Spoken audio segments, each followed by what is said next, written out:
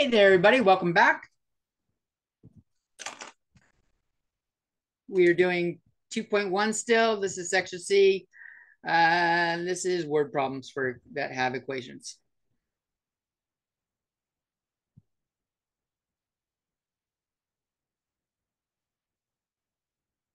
And we're going to start off returning to stuff we did before, the percentage problems. So if I take a look at 72, 52%, that should say of 95 is what?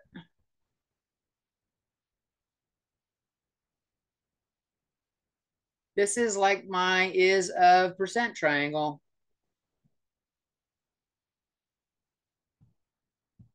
The what is our is, it's an X.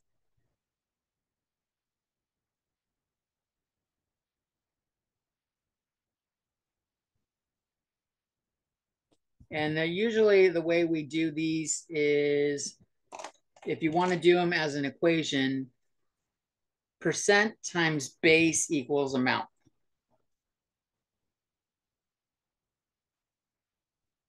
And the base is the bigger amount. Usually. So in this case, 52% is 0.52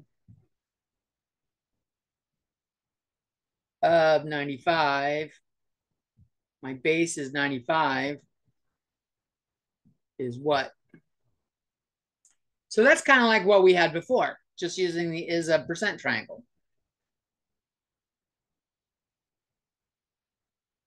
Question mark up top, 95 and 0.52 here.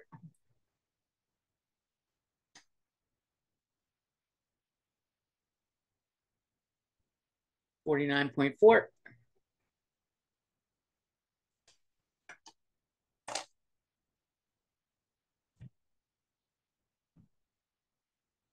We can switch that a little around a little bit where we have a different one, like let's do 80. One is 0.25% of what? That's my percent what is the base or of goes with base. And that means my amount is my is. So 0.25 as a decimal, remember we got to move it left twice. What? I don't know. But A, I'm just filling these in.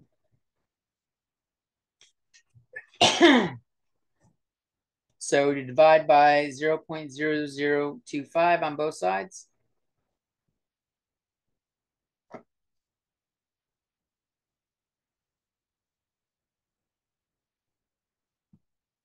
Four hundred.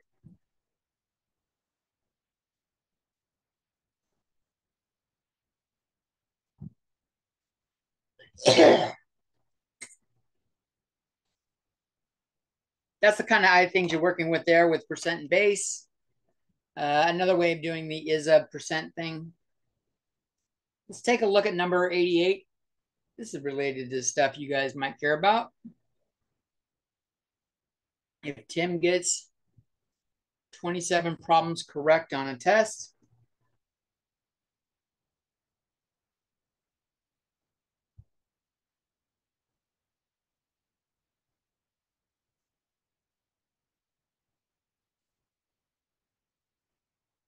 What is Tim's percent correct?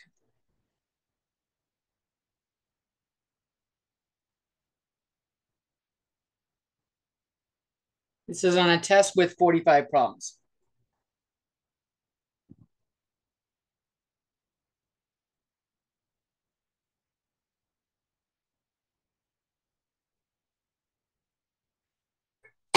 this is actually the is a percent thing again. We don't know the percent. What he has is 27 out of 45.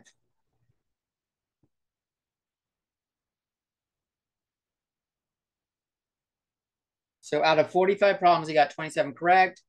Our base is the bigger number, almost always, unless you end up with over 100%. So P times B equals A. My A must be my 27 because that's my B. I don't know P.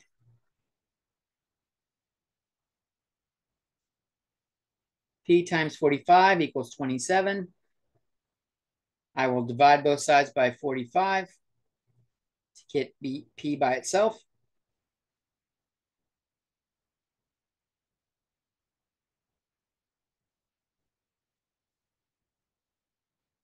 Three over five is 0 0.6. But he wanted a percent. So we move it right twice. And we get 60%. okay.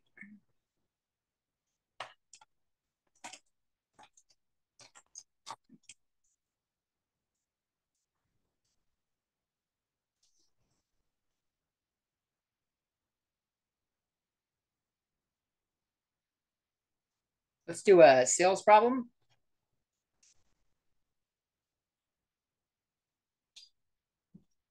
Ninety-eight. There's a golf shop that marks up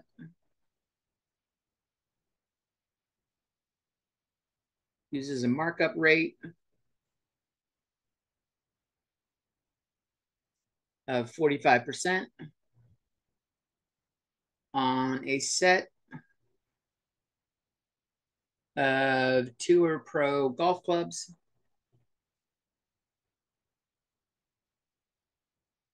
That costs the shop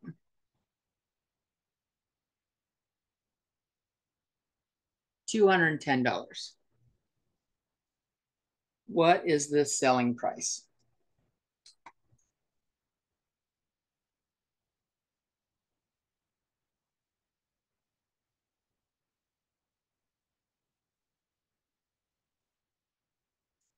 Okay.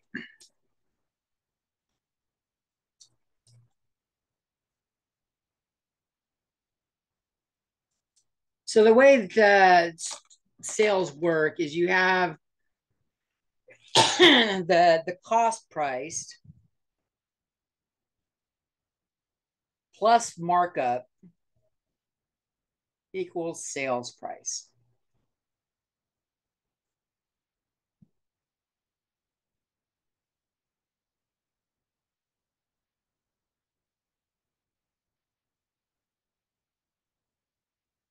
So what is the markup? We know cost price, that's 210. I don't know that, and I don't know that.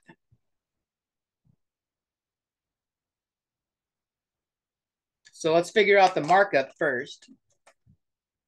The markup or profit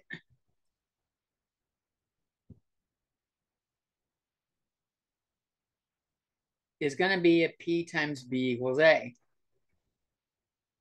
It's a percentage of the base amount. 45% of the base amount is going to be our markup or our A.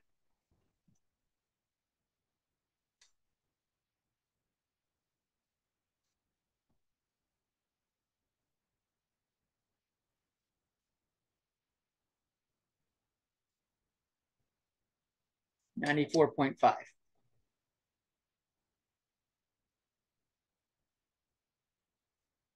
And that's dollars. So I can put that up here and we'll see that the sales price is 210 plus 94.5 or $94.50. And that gets us $304.50. Another way of doing this all as one step is saying that the sales price equals the cost plus percent. times cost. The markup percent times cost. 210 plus 0.45 times 210. If I do that in a calculator,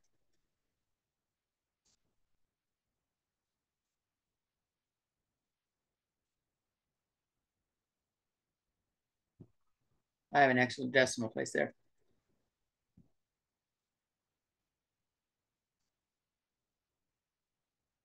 Three hundred four point five. Okay.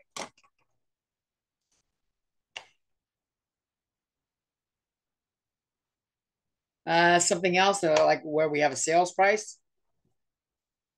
Uh, let's see the the lube place near my my house for cars is called TNT Quick Lube.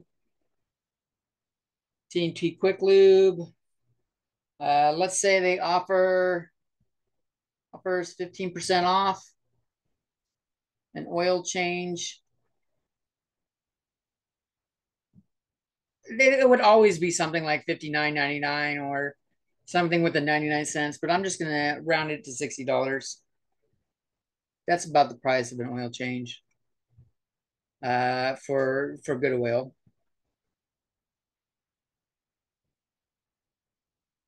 How much do I save? And what is the new price?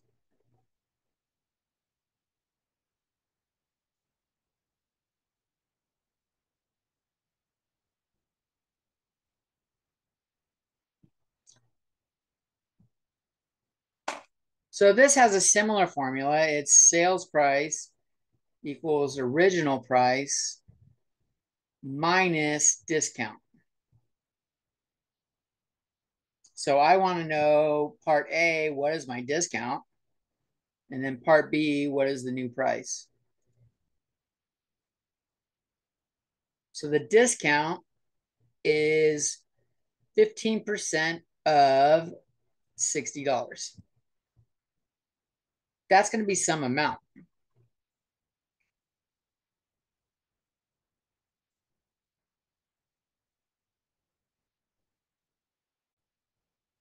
that nine dollars?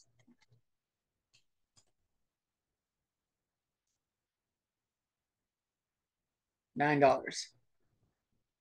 So I'm going to save nine dollars, which means the sale price or what I have to pay is the original minus the discount, which is $51.